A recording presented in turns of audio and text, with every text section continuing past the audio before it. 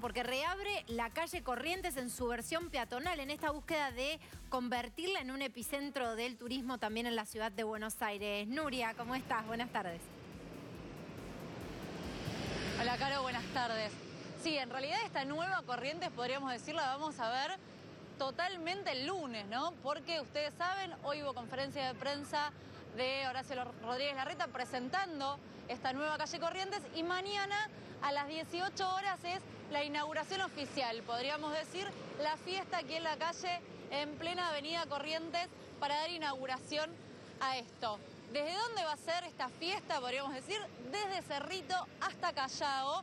Se van a cortar tres carriles que son los que después van a quedar para los peatones.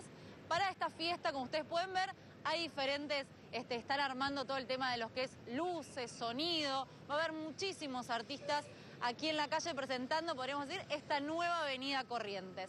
El tema es que, claro, después, ya el lunes, nos vamos a tener que acostumbrar a una nueva forma de utilizar la avenida Corrientes, insisto, entre Cerrito y Callao, que es esta zona donde no todo el mundo va a poder circular todo el día. ¿Cómo es esto? Mira, primero, vamos a mostrarlo bien.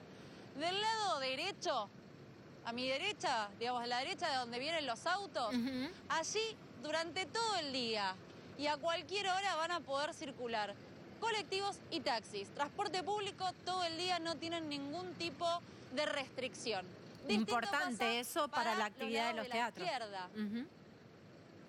Exactamente. Distinto es del otro lado.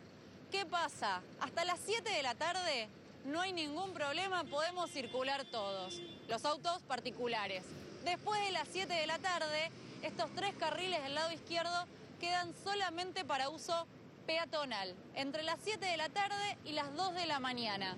Así que atención a partir de las 7 de la tarde, que a nadie se le ocurra doblar desde Callao hasta Cerrito, agarrar la avenida Corrientes, porque si bien no se va a empezar a implementar a partir del lunes, va a haber gente de tránsito para que nos vayamos este, asimilando este, estos cambios, se cree que a partir de los 15 días sí, ya van a empezar a correr multas. Así que atención, pero bueno, vamos a ver este, qué sucede ¿no? este, con estos cambios, porque nos cuesta un poco este, acostumbrarnos a los lugares donde no se puede circular con autos. Además, a esto se suma la restricción que hay para circular con automóviles en toda la zona de eh, tribunales. Así que atención a aquellas personas que vengan con el auto, tienen que tener estos recaudos, ¿no?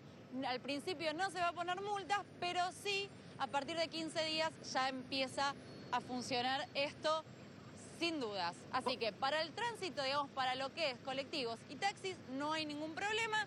Los tres carriles del lado izquierdo, lo, eh, del derecho, perdón, los tres carriles del lado izquierdo para los autos no van a poder circular, insisto, entre las 19 horas y las 2 de la mañana.